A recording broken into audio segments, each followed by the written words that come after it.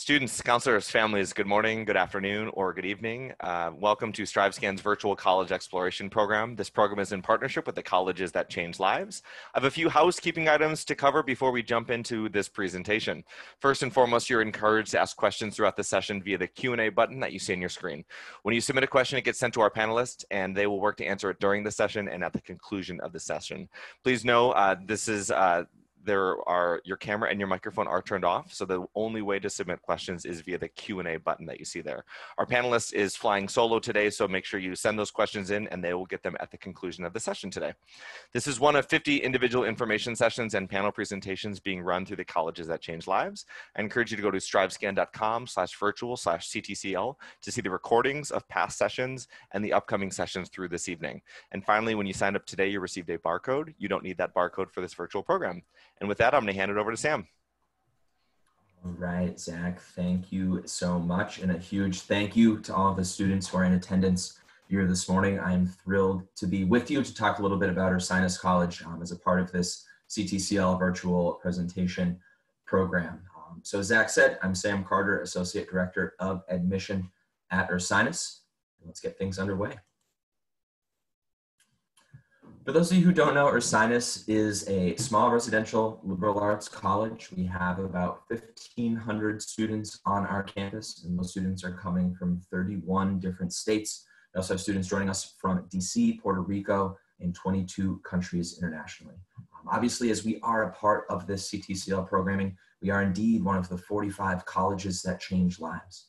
Um, and CTCL is a, an organization that's dedicated um, to the advancement and the support of a student-centered college search process. CTCL schools, or Ursinus chief among them, believe firmly in a student's need and desire to be put at the center of every single part of this research process.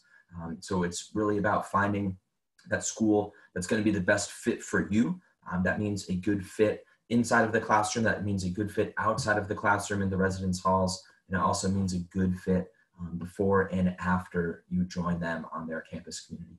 Um, CTCL was founded on the philosophy of building knowledge, character, and values of young people, introducing them to that personalized and transformative collegiate experience. And we are so proud to still be putting that pursuit forward and at the forefront of what we're doing on our campus in our admission office.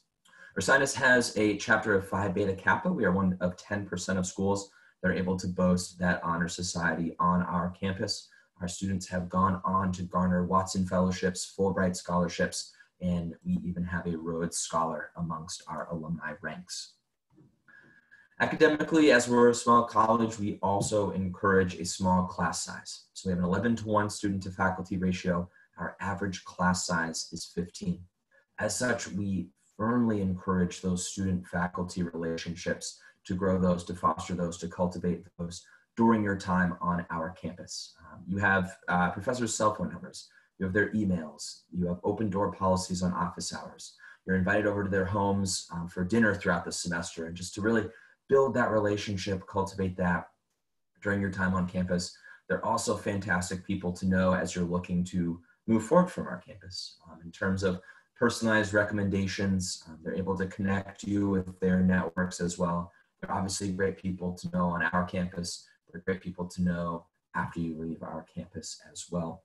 We have over 60 different courses of study on our campus. 100% of our students will come in at least on paper as undecided. We believe that you should come in with an open mind. If you have an idea of what you might want to do, um, you can see some of our most popular majors right here. Maybe you come in thinking, yeah, I, I definitely want to be majoring in biology. That's completely fine. You can take those biology courses your first semester when you're on campus Um, but we really want you to, on paper, at least be undecided as you explore and find out what it truly is that you're passionate about. And then you're able to declare that major and pursue that track more formally at that point.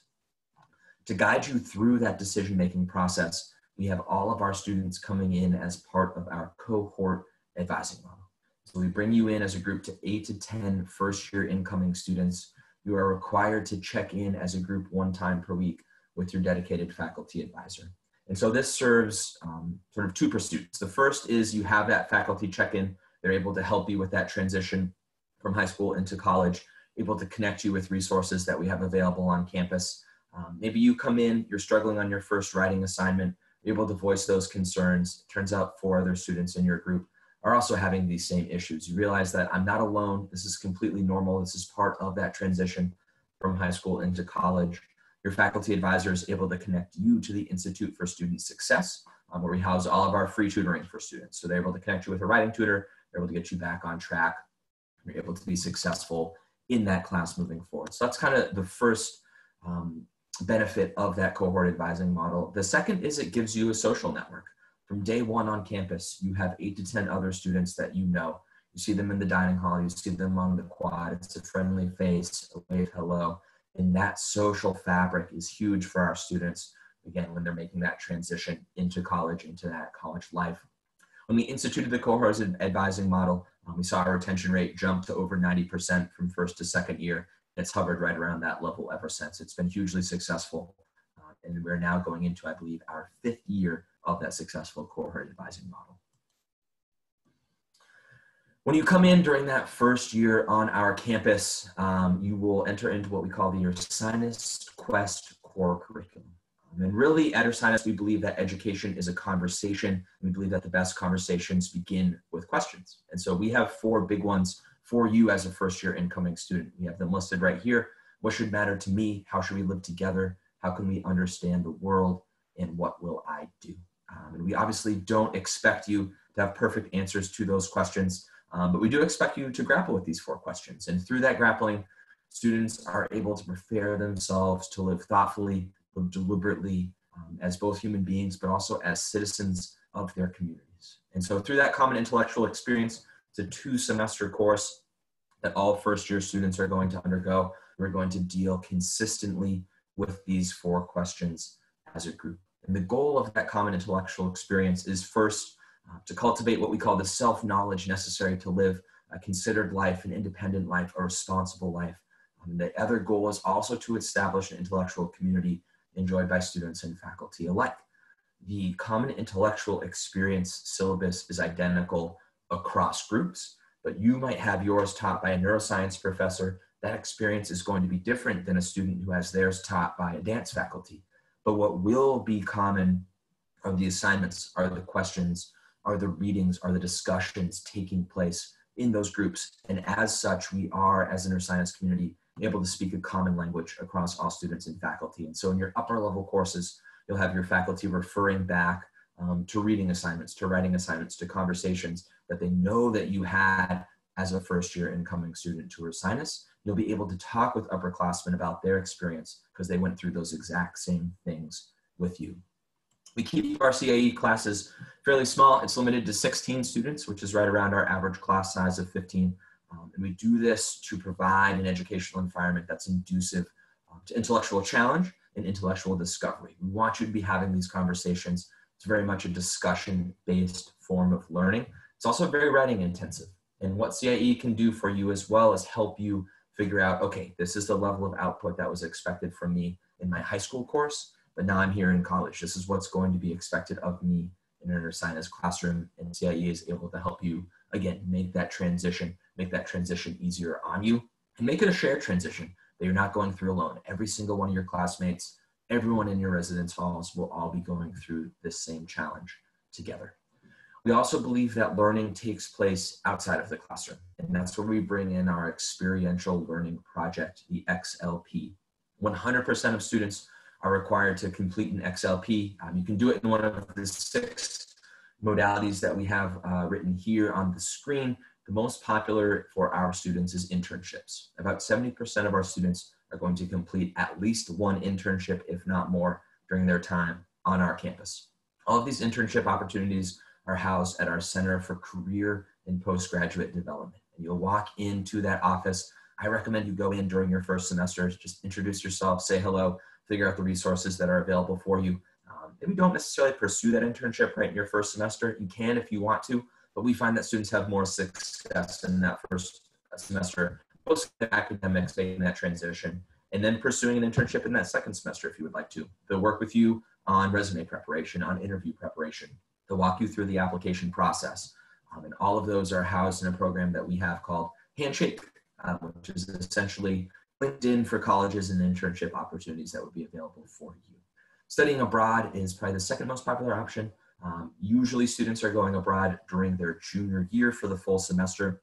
Again, you'll work with our study abroad office who will walk you through the application process. They'll help you figure out your geographic goals, your academic goals, any program that we're connecting you with, we guarantee that all of those credits are going to transfer back. And so students who are going abroad will never be set back time-wise, you're still on track for that four-year graduation rate. We also have students able to bring in all of their scholarships, all of their need-based financial aid, your entire financial aid package is still in full force during that abroad semester. And so what you're able to do is then go abroad, have those scholarships, have that need-based aid still in full force. We never want cost to be the reason why a student was unable to pursue that abroad opportunity. Um, and then research is kind of the third of the big three in terms of XLP completion. It's very popular on our campus. There is not a discipline on campus that cannot be doing research. A lot of times when I speak with students, when I speak with families, they think, well, if I'm not a science major, maybe research isn't going to be an opportunity for me. It absolutely is on our campus. We have um, philosophy students doing research. We have psychology students doing research on campus. You're working sometimes one-on-one with professors, usually as part of a research group. You're working with that professor. If that study is getting published, our students are published right along with it. They're able to present at regional and national conferences as a product of that research. And you can get into labs with professors as early as your first year on campus. Since we are undergraduate only, all of those research opportunities that might be going to graduate students at larger universities are reserved for those undergraduate students on our campus. Um, you can also fulfill the XLP through student research, or I'm sorry, through a creative project, through civic engagement, or through student teaching. Um, and so in those six ways, we're consistently building our students' resumes. And so when you're graduating from Ursinus, you don't only have a bachelor's degree from a top 100 liberal arts college. You have three semesters of an internship in Philadelphia. You study at the University of Auckland in New Zealand. You're able to become published and present at a national conference as a product of the research that you're doing. That is a much stronger resume. That's a much stronger application for our students coming out of college than if they were just coming out with that bachelor's degree. So we do believe firmly that it is a four-year residential liberal arts experience. And so we have a housing requirement for students on our campus, but we also have a housing guarantee. We guarantee our students all four years of housing on our campus. We house all of our first year students together very intentionally to build that cohort of a first year class in our first year residence halls. After that, we have suite style housing available. We have a row of townhouses located right across the street from our campus, which offers a little bit more of a communal living situation. Um, some of these are broken down into what we call special interest housing. So these spint houses, as we call them, guarantee that you'll be living um, with students who share a common interest, a common passion, a common way of life. Um, and so maybe you are part of a, a, greenhouse that's focused on environmental issues. Maybe you're part of a music house where musicians are able to come together and take part in that art form um, within that living community. Whatever it is, if you and a few friends want to propose a spint house, you're able to do that. Uh, and you can actually have a rotating spint house year by year. Those are constantly changing to meet student demand. We have over 100 different clubs and organizations on campus. You name it, we pretty much have it already. But again, we're small, we're malleable, if you and three friends are able to come together and propose a club or organization, you can officially become a club. You need a faculty advisor, and then you're eligible for funding through our Office of Student Life at that point. A little bit more formally, we have three interdisciplinary centers where students are able to engage and further those academic pursuits outside of the classroom. We have the Parlee Center for Science and the Common Good, where students are concerned with the intersectionality of the research they're doing in their science classrooms but they also want to know where does that meet society? How might we apply that to better the world around us? The Imagine Center for Integrative and Entrepreneurial Studies is teaching students from all disciplines to look at the world through that entrepreneurial lens, to approach their problems, to tackle their issues with that entrepreneurial mindset. And then the Melrose Center for Global and Civic Engagement is for students who are focused on political issues, on social justice issues, who are looking to make a difference and an impact on the world around them. We do have athletics for our students outside of the classroom as well. Um, about 37% of our students are competing in varsity athletics. We are Division three members of the Centennial Conference, and those students are competing across 25 different varsity sports teams. Um, if you're not looking for that level of competition, about a third of our students take part in club or intramural sports. Um, so you can see that we certainly have a very active campus if that's something that you're looking for. We have plenty of options available for you. But by no means do you need to be an athlete um, to feel at home on our campus or to, to fit in or be a part of that Ursinus campus community. A lot of what you're doing is going to take place on our campus, but we do have a number of attractions located nearby for students when they just need to get away a little bit um, and step away from campus and relax. And so we have the Providence Town Center. It's located about five minutes from our campus, and that's where you'll have uh, the closest kind of shopping center. There's a number of restaurants available for students. Um, there's a movie theater where you can go and just relax, step away from the classroom, and blow off a little bit of steam together with your classmates. So that's very, very handy to campus. King of Prussia is about 15 minutes away. Um, it's home to the second largest mall in the country. And so if you're looking for a more in-depth, intense shopping experience, might I suggest King of Prussia and the KOP Mall. Um, Philadelphia is right in our backyard. And I think that Philadelphia is something that makes Ursinus um, unique and different from some other CTCL schools is our proximity to that sixth largest metropolis in the country. It's about 40 minutes away from campus. And so for students who want to go in for internships, the city is available for you. Maybe you just want to go in for, the, for some fun on the weekends, see a concert, go to a game, check out a museum. Um, Philly is right there for you. Sometimes our student programming board will run trips to Philadelphia. Uh, they'll have discounted tickets to a 76ers game to provide transportation back and forth. And so while Philly is right there in our backyard, you are able to leave the city and return to our, our quieter residential liberal arts campus. And then for the outdoor enthusiasts, we do have the Perkiomen Trail. Um, the Perkiomen Trail connects to the Schuylkill River Trail, and so that can actually be used um, for biking all the way into the city of Philly. You can bike right from our campus, um, or for students who are looking to get out um, for a hike, for a run, whatever it might be, we do have the Perkiomen Trail connecting to the Schuylkill River Trail um, right off of our campus. there are more than 10, um, but we have them all, all 10 listed here, kind of the 10 largest. A couple of my favorites uh, the Berman Museum of Art is a fully functioning art museum right on our campus. Um, it's free entry for all students. And so we will have uh, professional art exhibits in there, but it's also a great way that students are able um, to exhibit some of their own art from their classrooms right in that formal exhibit setting. Biking to Philadelphia as part of the Schuylkill River Trail. Um, and then one of my personal favorite events each year is the Bear Bash, um, which is sort of a large um, concert that we'll do on campus. And it's obviously accompanied by a number of activities and things that are available for students. It's just a really, really fun weekend um, for students to kind of take a step back from academics and really enjoy the residential community and enjoy each other's company um, as they are members of our campus community. I mentioned our proximity to Philadelphia, um, and this again is a fantastic option for our students in terms of internships, in terms of jobs after they've graduated. One other unique program that we have is what we call the Philadelphia Experience, colloquially referred to as Philly X. And what students will do in the Philly X program is they will live for a semester in the city of Philadelphia. You will do a full-time internship. You see some of the organizations where our students have interned as a part of Philly X.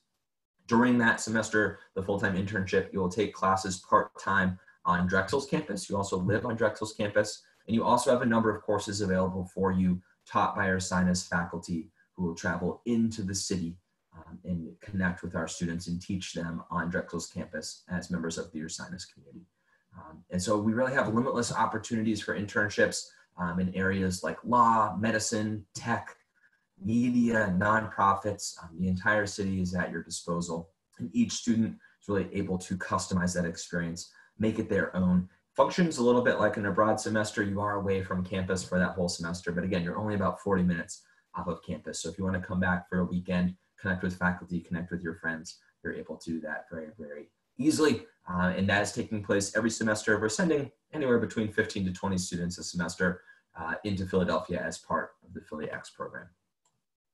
And so all of these opportunities that we've discussed really work in concert with one another for some pretty strong outcomes for our students. 93% of our students are placed within six months of graduation. This means that they're employed full-time, doing a full-time graduate program, or doing a year of service. Again, we feel that our academic preparation, the four questions, the common intellectual experience, paired with that XLP requirement and all of the one-on-one advising that our students are getting, really serve our students and prepare them for success once they've left Ursinus.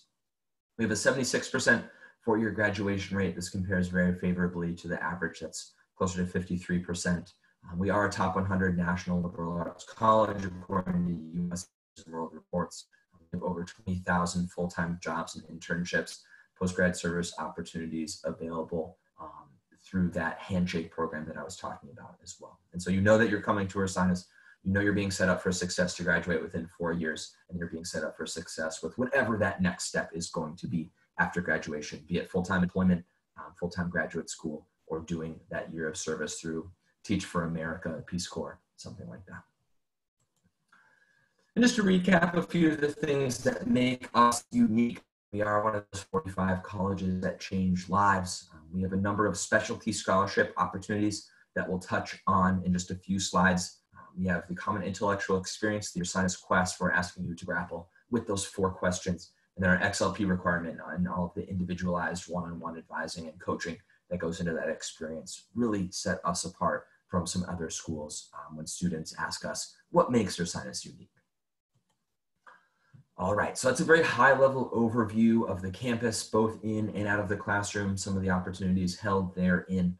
But I do want to take this opportunity to transition our conversation um, into the application process because, of course, you need to first apply before you can take advantage of everything that we have available on campus.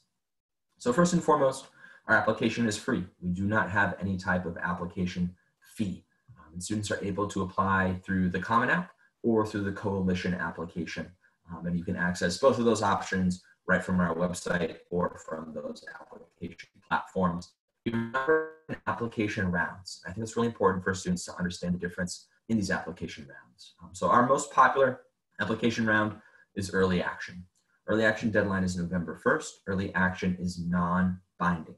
Students are able to apply early action. You'll get your decision from us in mid-December, and then you are able to wait until the spring to ultimately make that decision. So you're able to carefully weigh, come to campus, um, and make sure that it is indeed the right choice for you to become a member of the Ursinus community. I think early action is a great choice for students who on paper feel that their application um, at the beginning of their senior year accurately represents who they are as a student. You've done consistently well in 9th, 10th, 11th grade. You think that's who you are. You say, here, I want, I want you to take a look at me. This is who I am applying to your college anyone who feels that way, I strongly encourage you to apply early action. Again, it's non-binding. There really is no downside. Early decision is binding. And so students are only applying early decision to one school. It is your top choice institution. You are going to have to sign that early decision agreement. And so students who know that Ursinus is their number one choice, they want to lock in that decision. I strongly recommend applying early decision. We have two early decision rounds. Um, early decision one has a deadline of December 1st early decision two has a deadline of February 1st. Then we have regular decision. Regular decision is a good option for students who maybe moved a little bit late. Maybe you struggled in ninth grade, you turned it around in 10th grade, you're continuing that success in 11th grade, and you want us to see that first semester of senior year. You want us to look at those grades, have that be a part of our decision those students are excellent candidates for regular decision. It allows you the extra time, the extra semester to build on that academic success, um, to add to your college application. That has a deadline of February 1st. Um, you get your acceptance letter from us in mid-March, and then you would have until later on that spring to make that decision. Um, so you might have noticed our early action, our regular decision, um, we have application deadlines, and then we're releasing those acceptance letters together. Another benefit of an early decision is it's reviewed on a rolling basis. So if you know that we are your number one choice, you want to lock in that decision, you can apply early decision and we will get you your um, admission decision within two weeks of that application submission. We also have transfer students applying um, for Ursinus. We review those on a rolling basis um, and we will review those as they come in. We have a two week turnaround time on those as well. We have a few required components of each student's application. So first and foremost, we require a student's transcript. Our average GPA of an incoming student is a 3.45. That's just an average. We have students well above that. We have students coming in below that average. That's simply just the average across all of our applications. We are looking at unweighted GPAs. So we want to try and get students all on the same playing field just to get that kind of raw number. We are then, though, assigning what we call a strength of curriculum score. And that's where we bring a little bit of weighting into the process. And so if you're a student who has taken strictly a college preparatory curriculum, you will have a strength of curriculum score one. Fine. College preparatory curriculums prepare you to succeed at the college level. But if you are a student who has chosen to challenge themselves, who's taking honors courses, AP courses, if you're enrolled in an, in an IB curriculum, um, we want to honor that commitment that you made. We want, we want to give um, full credence to the extra time, care, the extra effort that you're putting in to that high school experience. And so if we're seeing that your transcript is full of honors courses, AP courses, whatever it might be, we'll give you a higher strength of curriculum score. And that's where we're able to bring a little bit of weighting into the process. We recognize that if you're taking a lot of AP courses, chances are you may have performed a little bit better in those courses if you weren't taking that high level of challenge. And we want to pay homage where homage is due to you as the student with that strength of curriculum score. We also require a letter of recommendation from your counselor. If, though, you have a, a teacher, a mentor, someone who can really speak to who you are as a student, and you think that that's going to add to your college application, we strongly encourage you to um, add those in. Don't feel like you can only submit that letter of recommendation from a counselor. If you think there's a teacher that can speak to who you are, who you're going to be on our campus, that's someone that we want to hear from. We also require the personal essay um, as part of that common application process. I think the essay is a great opportunity for students to kind of jump off the page, add a little bit of a three-dimensional element to their application. It's also the component of the application at this point that you as the student have the most control over. Um, your grades from 9th to 11th grade are already set. There's nothing you can do to change those. Your activities that you've done from 9th to 11th grade, those are already set as well. But what isn't set at this point is the essay. So I think it's something that students can really be careful with, take their time, um, and think what what is the goal? What do I want to accomplish in this essay? What am I trying to communicate to the admission committee? Um, I think the students really want to have their own voice shine through in this personal essay. And again, it's your chance to talk directly to us. Make sure that you're transmitting a message, um, a goal, and outcome that you want the admission committee to know about you as a student and who you might be on our campus. So those are the requirements for first year incoming students. Um, for transfer students, it's not too different. We also require that personal essay. We need your high school transcript. We do though need your college transcript. And the transfer students, that's really what we're looking at. We wanna see how you've performed, how you've succeeded at that college level. Um, we need a student conduct verification form. We also need your course descriptions so that we can get you um, your transfer credit evaluation. So you know, okay, here's what I've done already at the college level. Here's where I will be at Ursinus as a student when I come in. In order to give you that TCE, we do need those course descriptions from you as a transfer student only. Those are the required application considerations. Optional application additions. Um, the number one optional component of your application are test scores. We are absolutely test optional. You do not need test scores to get any of our merit-based scholarships that we'll talk about in a couple of slides. If you are submitting test scores, here are our averages. Our average SAT is a 1230, average ACT is a 27. We will super score. Um, and so test scores, I always tell students only exercise that option if it's going to strengthen your application. Um, if you have any questions about that, I think the easiest thing to do is reach out directly to your admission counselor. We can walk you through that process. Um, and if you really just can't decide, you can tell us your test scores. Um, and we'll, we'll kind of look at them informally and say if we think that you should submit those or not. It's only once you formally submitted them through the college board or through your college counselor um, that we must take those into consideration. So it's certainly something for you to think through um, and exercise that optionality if it is going to strengthen your application. We would love to get those test scores from you. We also have an optional Y Ursinus essay. It's part of our supplement. It's not as in-depth as that personal essay on the common application, it's really designed for us to be able to get to know you as a student and see what it is about our Ursinus that speaks to you, that calls to you, that makes you think that you would be a great fit on our campus, and indeed that our campus would be a great fit for you. We also have interviews.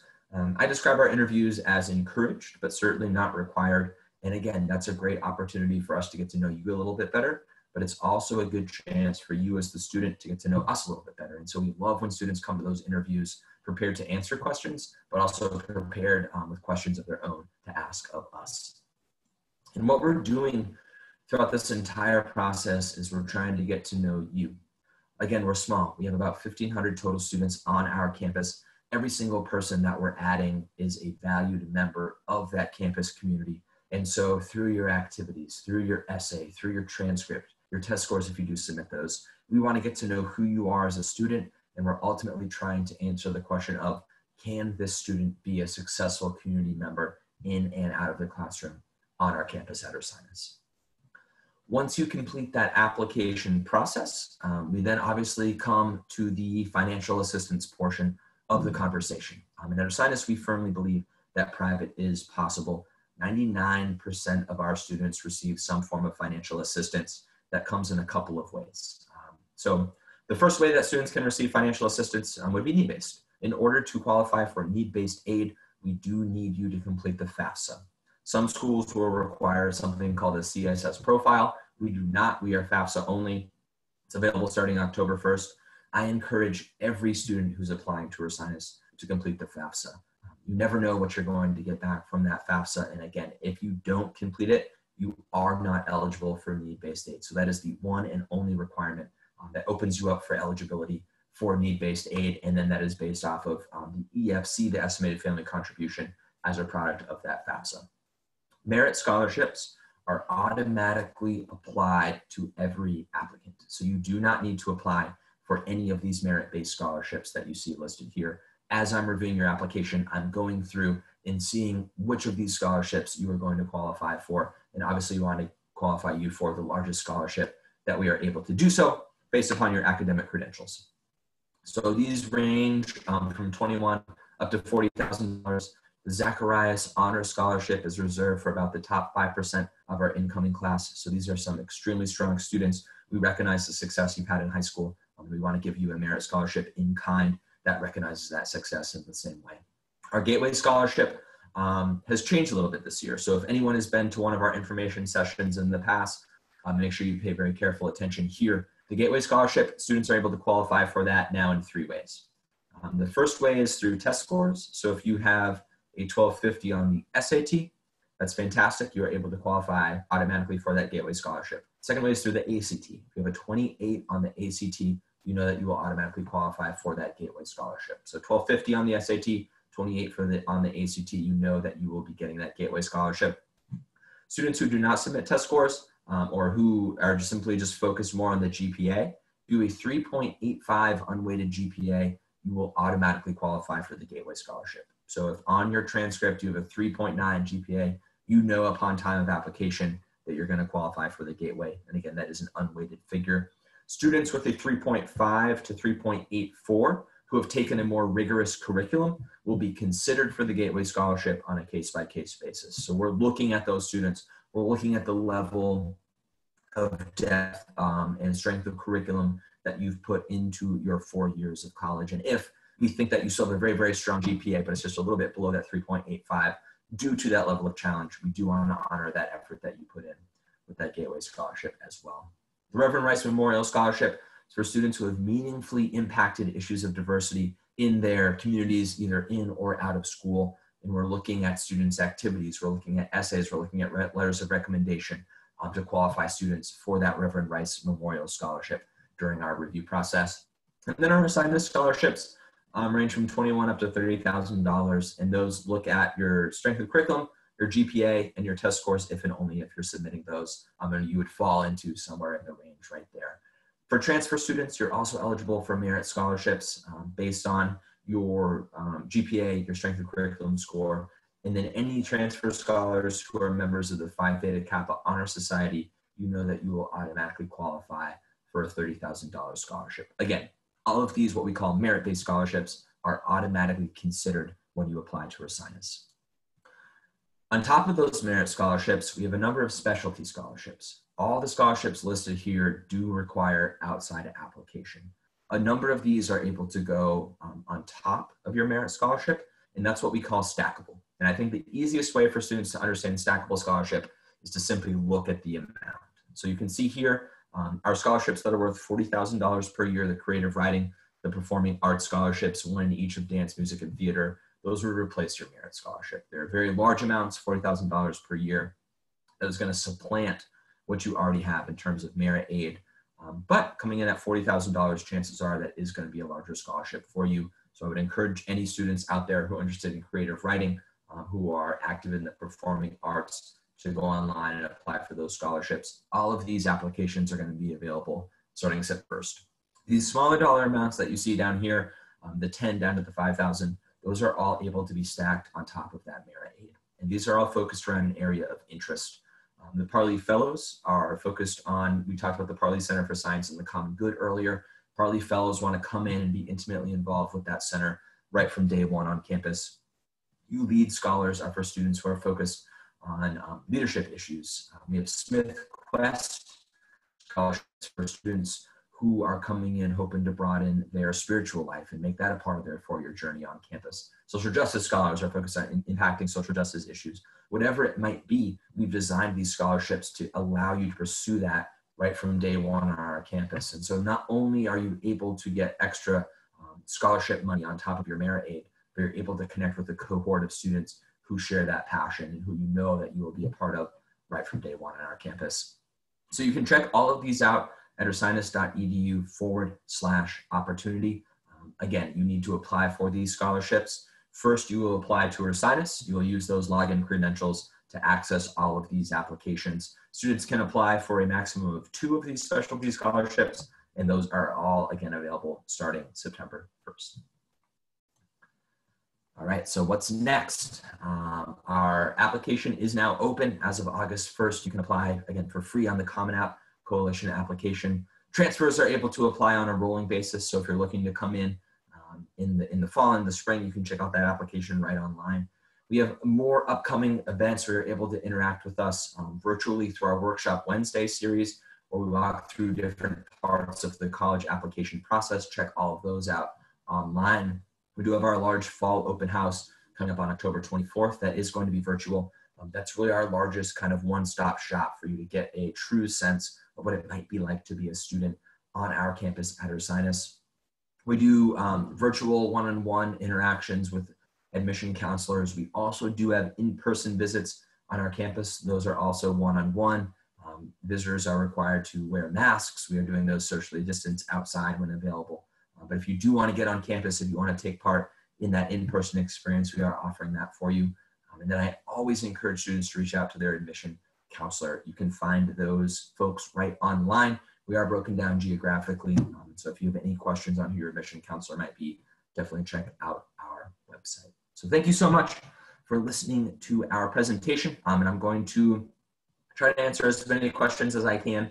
I know that we're running a little bit short on time, um, but I do want to get to those questions. And if I'm not able to, my contact information is right here, or you can email admission at ursinus.edu and we'll get all those questions answered for you. All right, so I see the first question coming in um, from Malia, and Malia asks, is there a pre-dental program? Great question.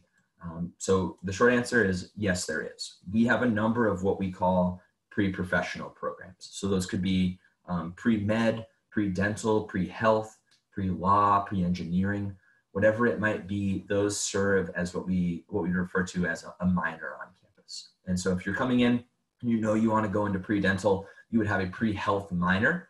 So you're majoring in biology. You'd work through your biology coursework. You'd have your biology advisor who's making sure that you're going to be successful in that biology program. Your pre-health advisor is making sure that everything you're doing on campus is going to complement your goal of getting into dental school. So you have a separate advisor whose sole focus is getting you into dental school. So making sure that you are connecting with research opportunities on campus. They're making sure that you're connecting with internship opportunities that we might have available. They're helping you find dental schools. They're walking you through that dental school application process. And that's true across the board for all of these pre-professional programs. Um, so we do indeed have those pre-professional programs. You have a separate dedicated advisor and they function um, in the same way as, as a minor would function on our campus. Uh, what are classes looking like this semester with COVID? Thank you, Danielle. A great question, a pertinent question, a timely question we have a few different options for students. So we are committed to offering students um, a full residential experience on campus if they would like. Obviously that residential experience is coming um, with a number of modifiers as you, as you might find from a, a quote unquote normal semester on campus. But if students are looking for that on-campus experience, it is there for them. Students who don't want to partake in that though are able to take classes 100% online. It's entirely up to the student um, we have we have faculty who are teaching um, both in the classroom and online, and then any faculty who are teaching in the classroom, those are going to be broadcast out to those online students. Um, so classes look a little bit differently depending on who the student might be, and that is entirely up to the student and what they are mo most comfortable with. Um, we obviously completely understand anyone who may have concerns around that.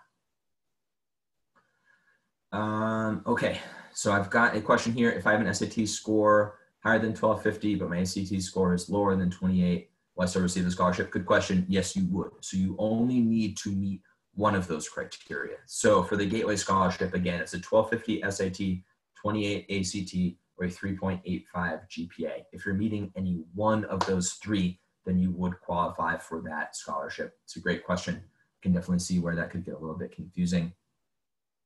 Um, Fabiana asks, are students able to get more than one merit scholarship?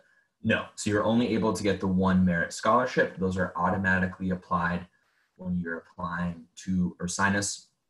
You are able though then um, able to apply for those specialty scholarships that might be able to get stacked on top of that. So if you're qualifying, um, say you qualify for the $35,000 Gateway Scholarship, that's great. You apply for our U Lead Scholarship of $8,000.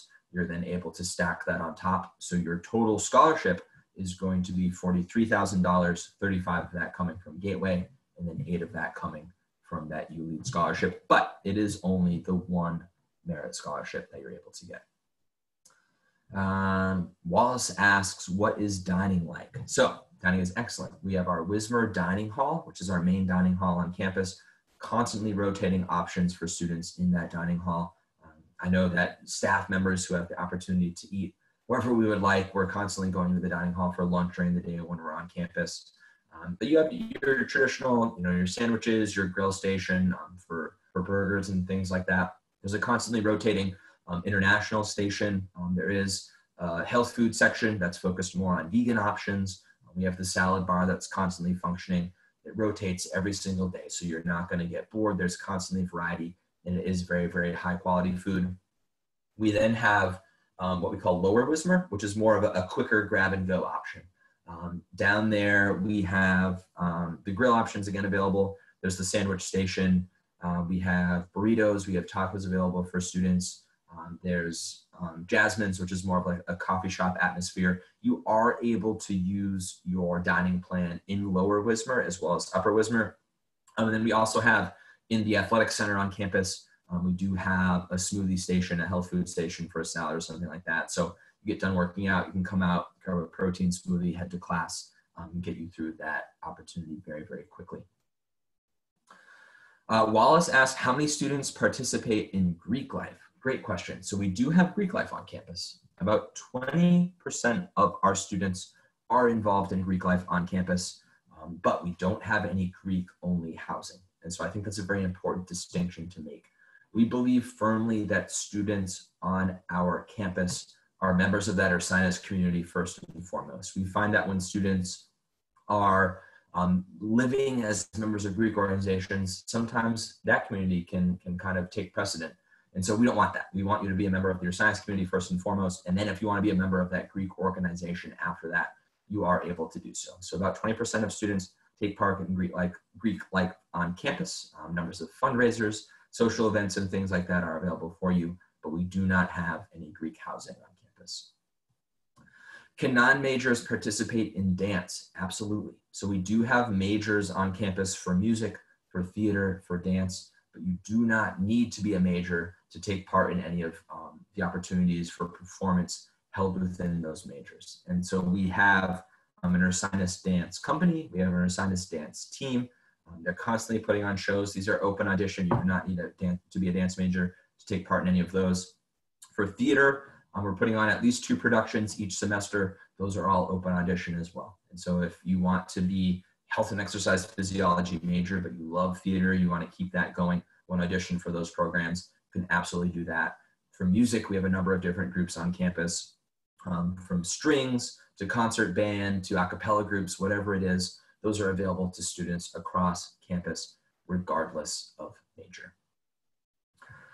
Josh asks, are merit scholarships for the first year or for all four years? Great question, Josh. I, sh I should have mentioned that. All of those merit scholarships are in force for all four years. And so if you're getting that $35,000 Gateway Scholarship, that's $35,000 in your first year, in your second year, in your third year, and in your fourth year. The specialty scholarships as well are renewable. And so if you are getting the Gateway, stacking it with a social justice scholarship, you know that you're going to have that $43,000 of scholarship money for all four years, provided you keep up a strong um, level of academics. And so students simply need to just maintain that 2.0 GPA in order to stay qualified for all of that. Um, and so thank you so much for all of the questions. I see that I wasn't able to get to a, a, good number of them, and I do apologize for that, but I know that we're on a very strict schedule here this afternoon. Um, so thank you very much to Zach and, and StriveScan for hosting us. Thank you all for taking part in our conversation here this morning. We look forward to interacting with you on our website, um, virtually or in person on our campus. And as always, go Bears. Thank you so much. Have a great rest of your day.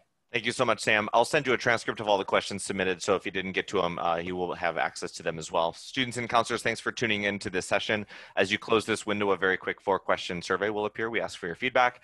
We encourage you to check out the upcoming CTCL programming and the recordings all at strivescan.com slash virtual slash CTCL. Thanks everyone. Have a great day.